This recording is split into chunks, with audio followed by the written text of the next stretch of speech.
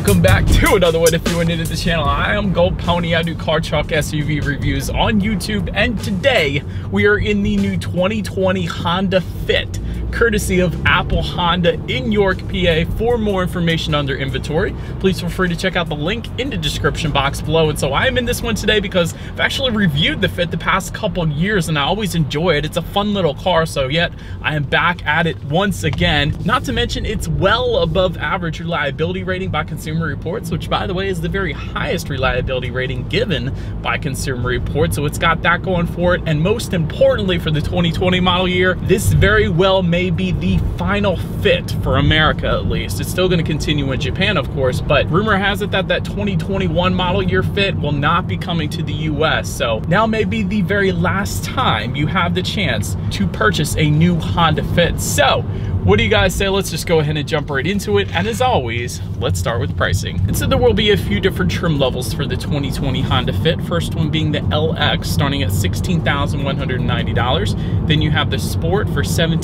$17,600, EX for $19,060, and lastly the EXL, which actually is the one we have today, starting at $20,620. And so regardless of trim level though, power plant in this little guy is going to be the same.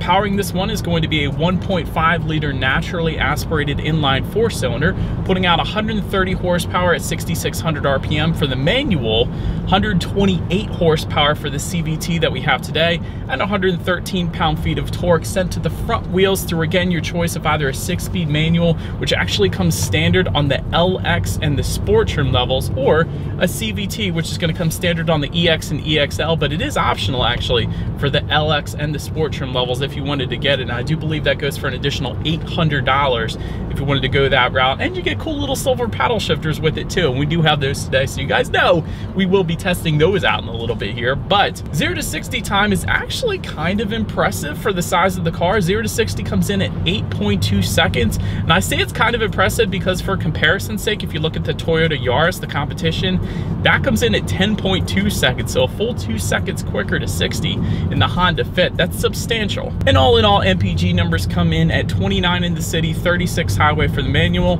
31 city, but still 36 on the highway for the CVT. Either way, of course, taking regular unleaded fuel, aka 87 octane. And so before we do that paddle shifter test or any kind of fun accelerations in this new Fit, did want to mention there are a couple different driving modes. There's one where you just simply slide the shifter all the way to the back and that is going to be a sport driving mode. It did immediately downshift for me, but it is also going to give me control over the shifting. So like I mentioned, we have paddle shifters here.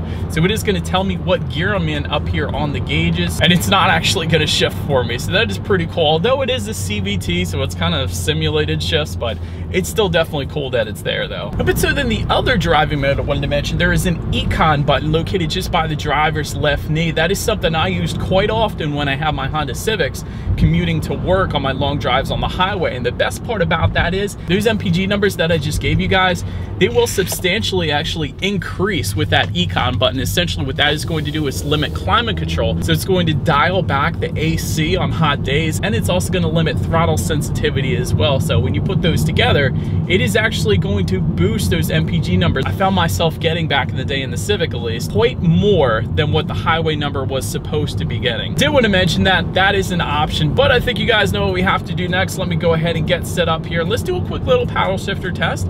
Let's see how quickly they are going to react for us. Again, we're in a CVT, so it's a, it is what it is, but still want to test them out for you guys though. All right, so again, you guys, for manual shift mode, I'm gonna slide the shifter all the way to the back is going to give me that sport driving mode. I'm going to hit a paddle shifter. That's going to put me in a gear. Right now I'm in fourth. Let's downshift. Let's come to a complete stop. We're in first and five, four, three, two, one. Here we go.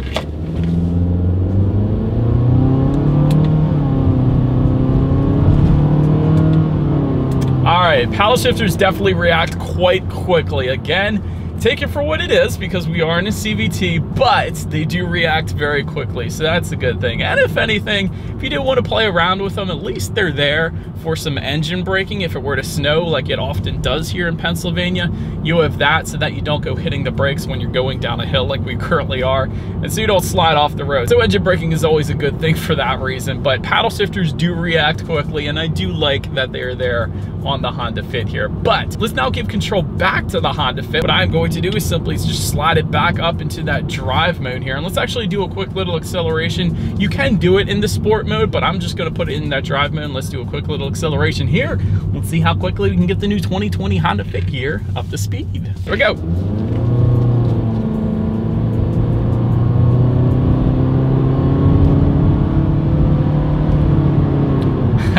it's not bad. It's pretty much as expected for the Honda Fit. It's not gonna be the quickest thing in the world, but that is to be expected again. It's gonna be quicker than the Toyota Yaris, you gotta give it that, but Again, if you want quicker, go with the Honda Civic Si or Honda Civic Type R for that matter, but it'll get the job done. This is more of a city car anyways. But so anyways, to go along with that acceleration, as always, braking is equally important. And so up front, you will find 10.3 inch ventilated front discs. In the back, 7.9 inch rear drum brakes. And that's a pretty standard setup for a subcompact car like the Fit. But nonetheless, braking distance comes in at 126 feet, which eh, it's not the best, but Toyota Yaris comes in at 124 feet. So again, it's kind of expected for the segment, I should say. So it is right on point. It's not gonna be the quickest stopping power out there, of course. Again, it's pretty average in this segment, but touching on suspension and handling, up front, you're gonna get a MacPherson strut front suspension. In the back, torsion beam rear suspension with a 25.4 millimeter front stabilizer bar. And as far as ride quality goes, it feels fine. It feels as expected once again. You're certainly gonna feel more of the road's imperfections in a car like this, so it's not gonna be the smoothest ride, but again, it's as expected. It's right on point for this segment. As far as cabin noise goes, that is definitely more on the pronounced side, I guess you could say, just because the engine is going to be a little bit louder, especially when you hit the gas. Let me hit it for you guys here definitely makes a louder sound and I feel like I have to talk a little bit louder when I do hit the gas but again it's not a horrible thing if that's the extent of the cabin noise that I have to deal with, that's definitely not gonna bother me too much because engine noise is something I never really minded. I kind of like it personally, but as far as steering feel goes, I actually kind of like it. It's not the heaviest feel in the world, so it could be a little bit more sporty. If you want a little sportier of a steering feel, there are options by Mazda or perhaps the Yaris, I guess, because Mazda kind of made that one. But nonetheless, it is kind of fun. It does kind of feel like a go-kart. I would imagine you would have a ton of fun zipping this thing around in the city, so definitely no issues for me there. Touching on visibility, that is 100% on point. I can see perfectly fine without a doubt out the back of this thing. And it is a super small car as well. So really you shouldn't have any issues whatsoever with visibility. And perhaps my favorite part about visibility coming standard for the EX and the EXL trim level. It's called Honda Lane Watch. And so essentially what that is, is when you put your right turn signal on, if you put your left turn signal on, I guess Honda felt like you didn't need it, but if you put your right turn signal on, there is going to be a camera on that passenger side mirror there, and that is going to display what is in your blind spot up on this infotainment screen. So of course it's gonna better help you not turn into somebody next to you. So I absolutely love that. That is a Honda specific feature. So well done Honda for that. I gotta give you credit there. But that about rounds out the performance segment of this review, you guys. Let's now go ahead and take a look at the exterior of this brand new 2020 Honda Fit. All right, here she is, you guys, the possibly final fit for the US. Let's go ahead and start up front on this one. To the sides, multi-reflector halogen headlights will come standard across the board for all trim levels. They will of course come with the automatic feature, meaning when it starts to get dark out at night, they will turn on automatically for you there, so you don't have to worry about that. And they will come with daytime running lights as well. Just below those fog lights that you're currently looking at, they will come with the sport trim level and up, so therefore we do have them today. And if you went with that sport trim level, you will find a red accent stripe on the lower front lip, kind of distinguishing itself. That is a little bit sportier than the other trim levels there. And an added front lip, I should say, giving it a little bit lower of an appearance up front. Again, only with that sport trim level. So that is going to be there for you. But now let's go ahead and make our way to the side of the fit here. And so black window surrounds, of course, coming standard body colored power adjustable side mirrors for all trim levels. They will actually be heated with integrated turn signals if you were to go with the EXL that we do have here today. Taking a look down at the wheel setup, here are 15 inch wheels with covers for the LX trim level, 16 inch multi-spoke black alloy wheels for the Sport, and 16 inch machined finished alloy wheels for the EX and EXL. That of course is what you're looking at right now then. But then make your way to the back, you will find a matte black antenna found on the roof up top there. Just below that, rear spoiler with an integrated brake light. Just below that, rear window wiper of course. Trim level badging can be found for the sport trim level only. So all other trim levels you will not find trim level badging. It will just be simply blank on that rear lift gate minus the fit logo on the left side of course. But then just below it all, the sport really gives you the best setup when it comes to the back I will say. You will get a gloss black rear diffuser with a red stripe when it comes to the sport trim level. So that rear diffuser is pretty darn cool looking and there is a single exhaust outlet for all trim levels. However, it is tucked away for all trim levels but the Sport. Sport is actually going to give you an exposed exhaust outlet with a chrome tip, but again, that is not the one we have today. So, do believe you guys know what we have to do next. As always, here is that exhaust clip.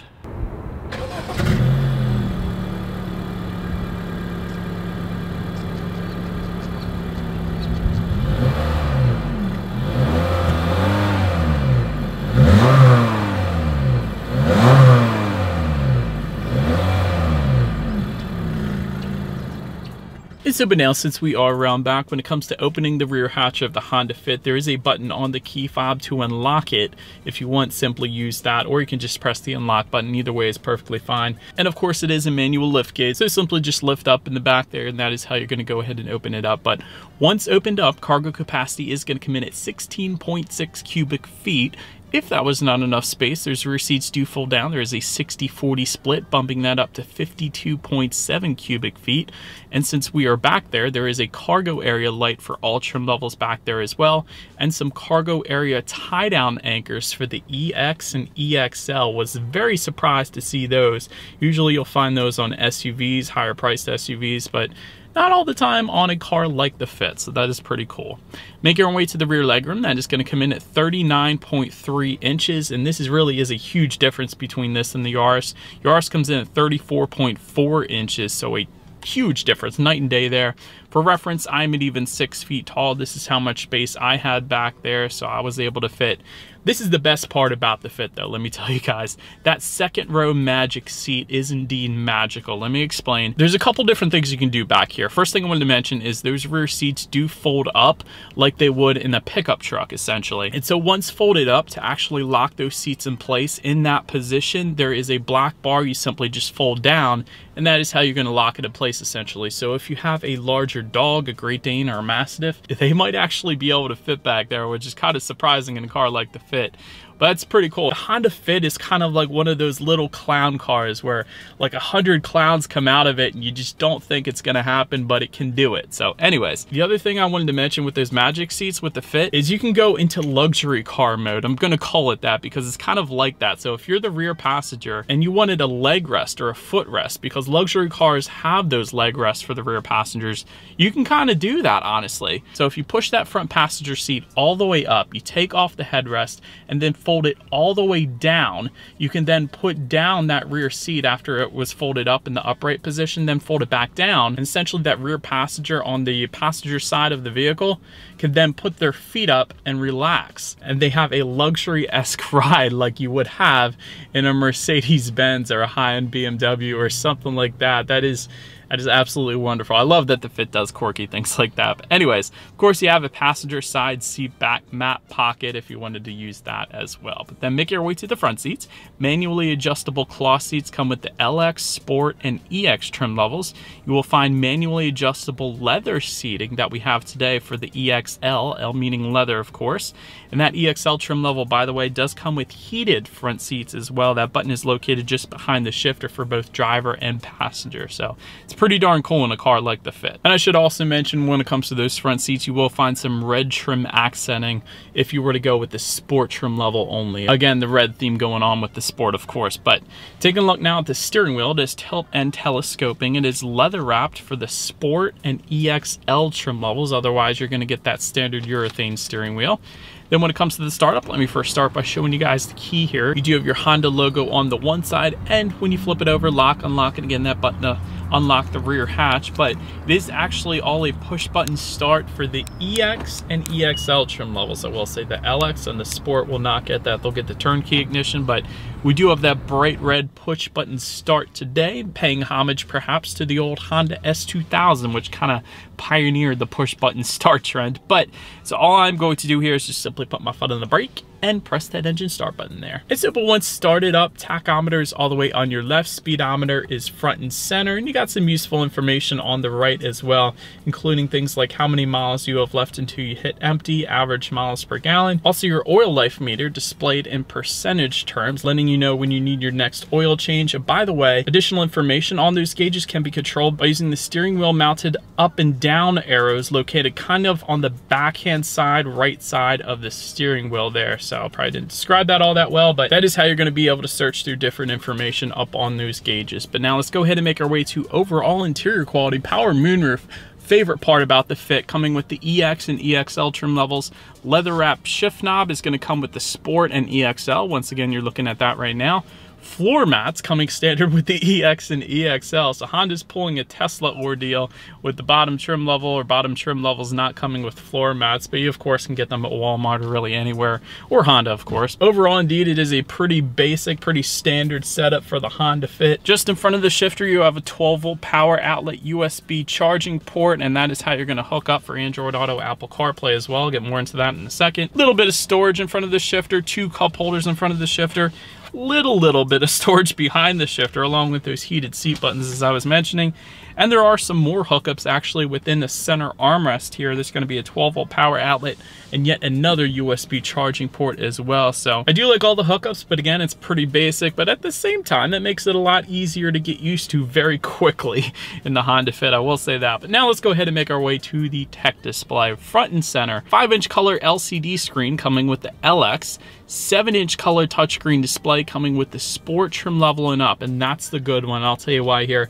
Bluetooth and audio streaming coming standard either setup that you go with, but Android Auto and Apple CarPlay is only going to come standard with the 7-inch screen, so you're going to need the Sport, EX, or EXL trims to get Android Auto and Apple CarPlay. And the reason I love that so much is if you have a smartphone, simply hook it up to the Honda Fit, and therefore you have free navigation displayed up on that tech display, as well as the ability to like and dislike your Pandora songs. You can stream YouTube music up there, and there's a bunch of other compatible apps as well. Of course, you can also check out your radio settings up there. And by the way, when it comes to the sound system, you will find four speakers and 160 watts if you were to go with the LX, six speakers and 180 watts for all other trim levels though. So, do believe you guys know what we have to do next. Let's go ahead and turn on the radio, see what we got playing today, and let's test out the clarity of this one.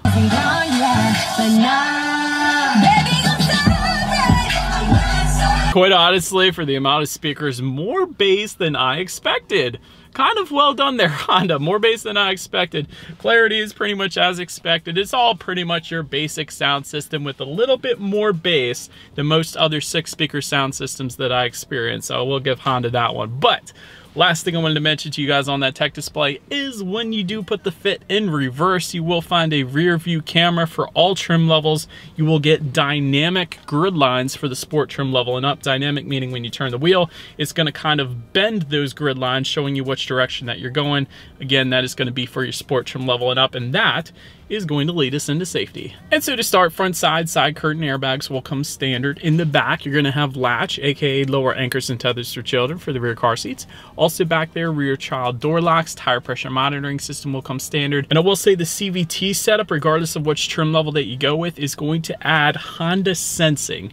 And so this is important. This is a bunch of advanced safety features included in a package, but it is going to include a collision mitigation braking system, road departure mitigation system, adaptive cruise cruise control. That's huge. It's something you see on luxury cars and much higher up trim levels of other manufacturers. Lane keep assist, forward collision warning, and lane departure warning. That's a ton of standard safety right there. EX and EXL trims are also going to add automatic high beams and that Honda lane watch system I've been telling you guys about. And so overall, when it comes to my final thoughts of what perhaps is the final fit, if you wanted a Honda Fit, that is the very last time you can get it if you wanted a new Honda Fit at least. It is a fun little car to drive, well above average reliability, so you know it's gonna last 200,000 plus miles like my Civics did. And that is really a huge selling point right there, to be honest. It is priced well. I absolutely love the second row magic seat. I love that the back seats can fold up like a pickup truck. It makes this thing so much more useful because if it didn't have that in a small car like this, it wouldn't be as appealing to a lot of people. So that is awesome. Only other thing I could say as far as final thoughts go, this car pretty much is as expected. I do like it. It's a fun car to drive. Crazy reliability. Honda, bring us the next generation. That's all I got to say. And that is about it for this one, you guys. Thank you so much for watching. Feel free to follow me on social media at the bottom of the screen there if you like. Be sure to hit the subscribe and the bell notification button if you're into new car reviews. That is what we do here on this channel after all. Do appreciate you guys watching more than you know, and I will see you guys all in the next video. Stay gold.